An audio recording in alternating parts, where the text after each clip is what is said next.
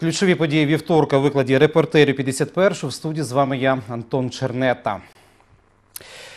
І почнемо з важливої новини. Одна людина загинула внаслідок ДТП на житловому масиві Лівобережний у Дніпрі. Аварія сталася під час переслідування авто, в якому знаходилися люди, яких підозрюють у скоєнні крадіжок з автомобілів. На вулиці Калиновій автомобіль Ауді зіткнувся з Део. В результаті водій Део загинув на місці. Як стало відомо, водій та двоє пасажирів Ауді намагалися втекти з місця скоєння чергової крадіжки. Після скоєння ДТП вони були затримані співробітниками управління карного розшуку. Під час огляду їх автівки поліцейські вилучили дві одиниці вогнепальної зброї. Всі троє підозрюваних затримані поліцейськими. Зараз вони знаходяться у відділенні поліції. З ними будуть, будуть проводитись відповідні слідчі дії. За фактом ДТП буде відкрито кримінальне провадження за ознаками частини 2 статті 286 Кримінального кодексу України. Слідство триває. Ті, хто знаходилися в автомобілі Ауді, це е, група осіб, яких ми обґрунтовано підозрюємо у скоєнні майнових злочинів, а саме крадіжок е, з автомобіля. Також під час огляду цього автомобіля, вже після ДТП, поліцейські виявили дві одиниці вогнепальної зброї. Зараз ця зброя вилучена та буде направлена на експертизу. Співробітники кримінальної поліції досить тривалий час збирали оперативну інформацію щодо причетності саме цієї групи чоловіків до скоєння ряду злочинів на території Дніпра та Дніпропетровської області. 13 березня близько другої години ночі під Дніпром сталося ДТП за участю поліцейського Пріус та вантажного автомобіля Івеко. Після зіткнення Toyota Prius вилетів у кювет. Аварія сталася неподалік від повороту на Підгородні. На місце події прибули два екіпажі патрульної поліції. Ніхто з учасників ДТП не постраждав. Моторошний злочин за скоєння подвійного вбивства в Павлограді затримали 11-класника, повідомляє начальник відділу комунікації Нацполіції в області Ганна Старшевська. Жертвами кривавої різанини стали сусіди підлітка, 30-річний батько та 4-річний хлопчик від отриманих ножових поранень. Вони загинули. Дружина вбитого 35-річна вагітна жінка отримала численні ножові поранення та була доправлена до лікарні. З місця події поліцейські вилучили знаряддя злочину ніж кустарного виробництва. Зараз слідчі встановлюють усі обставини злочину та мотив. 13 березня Павлоградський районний суд обрав для підозрюваного запобіжний захід у вигляді тримання під вартою строком на 60 діб без права внесення застави. Подія сталася близько 11 години ночі. До поліції надійшов виклик, що до сусідів прибігла е, у крові жінка та повідомила, що невідома особа вбила її чоловіка. Е, Виїздом на місце ми встановили, що е, попередньо хлопець е, 18 років через вікно проник до помешкання своїх сусідів, де наніс численні ножові поранення господарю помешкання, це чоловік 30 років, хлопчику 4 рочки, та жінці 35-річній, яка знаходилась в вагітним. Е, Десь за дві години поліцейські вже встановили особу, хто міг це скоїти, та затримали місцевого мешканця, хлопця е, 18 років, учня 11 класу. У Тернівському районі Кривого Рогу біля одного з промислових кар'єрів місцеві мешканці знайшли тіло молодого чоловіка.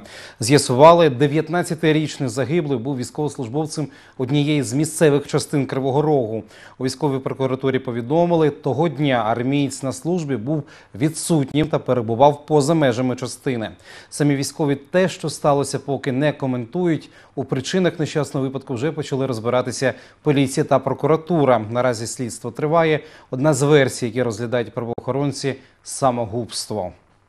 11 березня до чергової частини Криворізького відділу поліції від місцевих мешканців надійшло повідомлення про те, що ними було виявлено труп доволі молодого чоловіка біля одного із кар'єрів у Тернівському районі. На місце події прибула слідчо-оперативна група Тернівського району.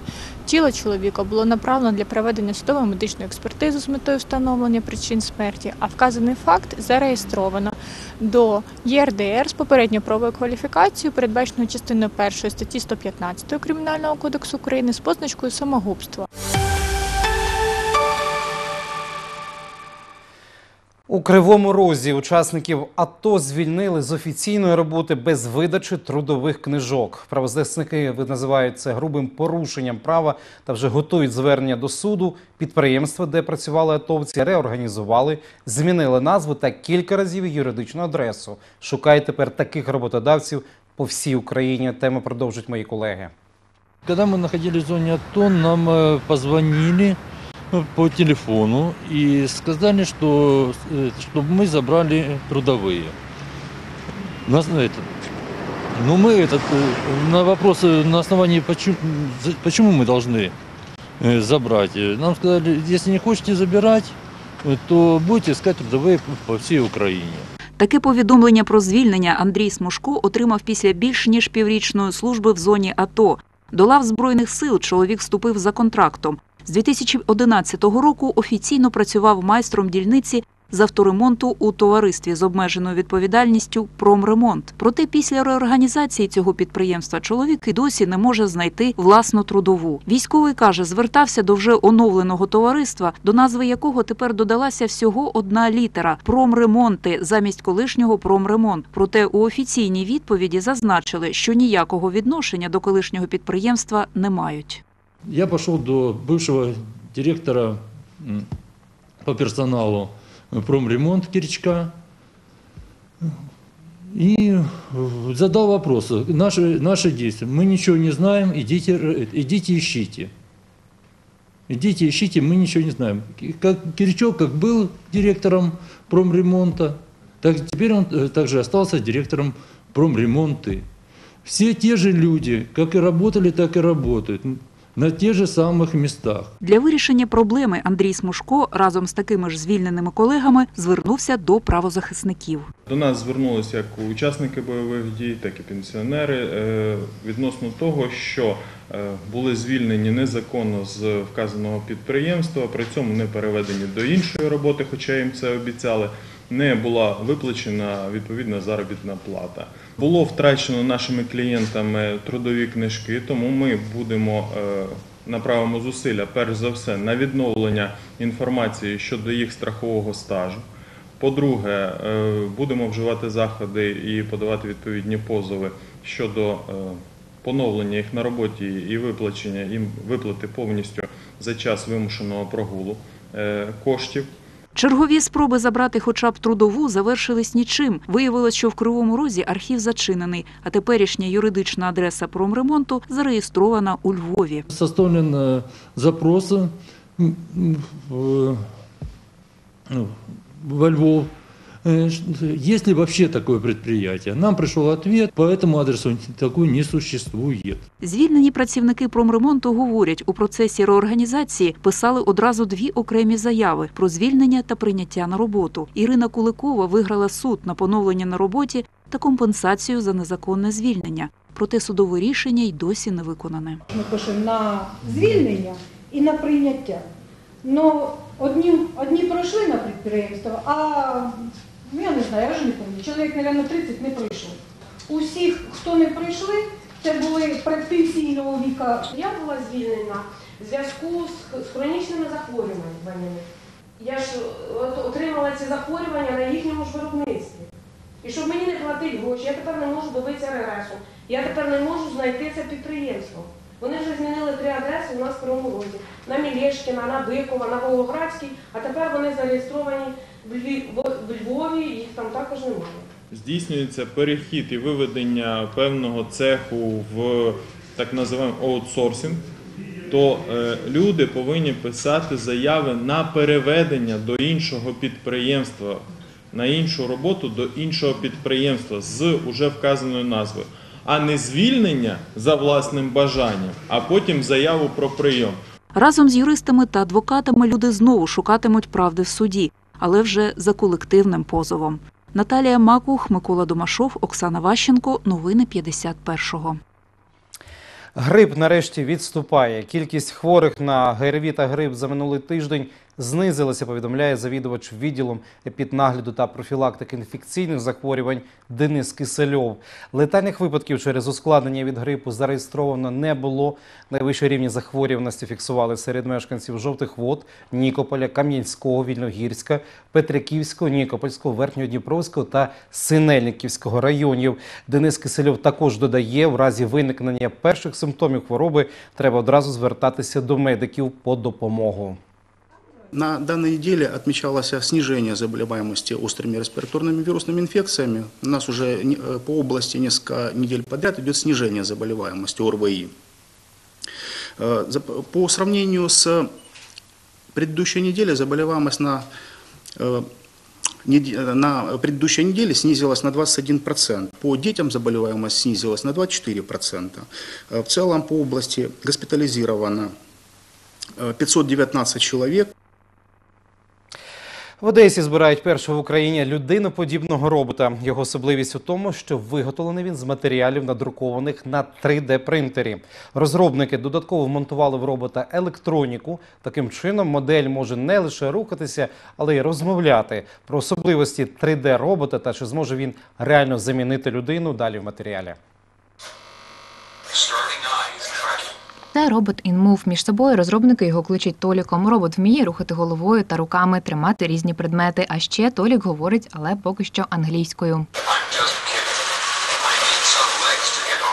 Робота почали збирати в лабораторії однієї з одеських комп'ютерних шкіл 10 місяців тому, каже Сергій Лященко. За основу розробники взяли проект французького інженера Гаеля Ланжевана. Свого часу він виклав усі розрахунки в інтернет. Он полностью этого робота спроектировал, э, совершенствовал по мере возникновения каких-то вопросов, проблем в узлах. Деталі для робота виготовляють на 3D-принтері. Додатково вбудували електронику, в моделі є відеокамери, динаміки і комп'ютер. Все це дозволяє роботу бути максимально ефективним, каже розробник. Он может э, работать в качестве домашнего помощника, приносить какие-то вещи, накрывать на стол, то есть уже, как говорится, довольно большие у него возможности есть, э, можно сказать, даже изначально. Допомагає розробникам реалізувати цей проект безпосередньо учбовий заклад, в якому знаходиться лабораторія. Це е, людиноподібний робот, єдиний е, в такому роді в Україні. Е, ми пишаємось тим, що він розробляється саме в нашій лабораторії.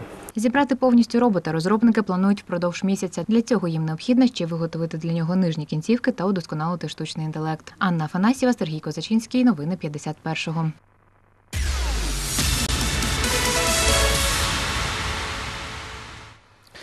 І далі до спортивних подій. Дніпровські дзюдоїсти Олег Вередиба та Артем Бубир виграли нагороди кадетського Кубку Європи серед спортсменів не старше 18 років.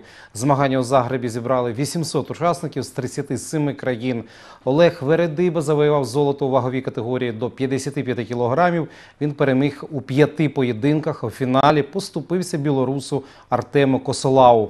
Дніпрянин Артем Бубир здобув срібну медаль вазі до 73 кілограмів. На шляху до нагороди спортсмен здолав шістьох суперників і поступився лише у фіналі румуну Адріану Сулка. В нашому місті теж провели обласний чемпіонат дзюдо серед юніорів. За медалі боролися спортсмени віком до 21 року. Про переможця цього турніру дивіться в наступному матеріалі.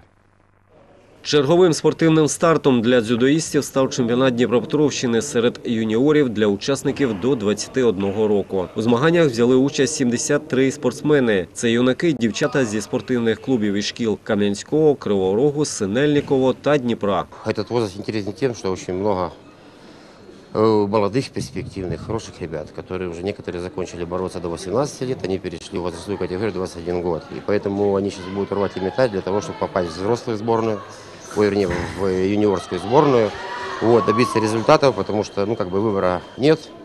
Там они опоздали уже чуть-чуть, вот, а здесь нужно добиваться и как бы доказывать свою силу уже перед более старшими ребятами. Протягом турніру спортсмени розіграли 13 комплектів медалей у п'яти вагових категоріях серед дівчат та у восьми категоріях серед юнаків. На татамі разом із молодими учасниками боролися вже титуловані спортсмени, переможці міжнародних і національних турнірів. На украинском уровне тут э, есть достаточно много ребят. Это э, Даниэль Шевченко, это Никита Матлашевский, это Чух- Чухоналидзе Георгий.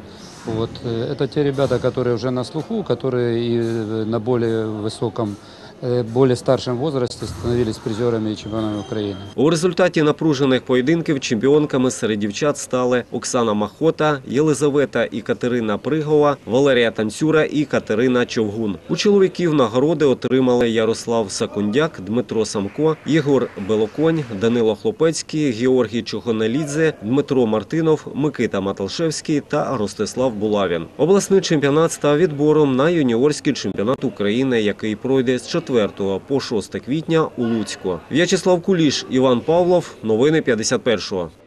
Наразі це вся інформація випуску. Наші репортери продовжують стежити за перебігом подій. Долучайтеся і ви до створення інформаційної картини дня. Телефон гарячої лінії новин незмінний 097 50 51. А в мене на цю мить все. Бережіть себе та Україну.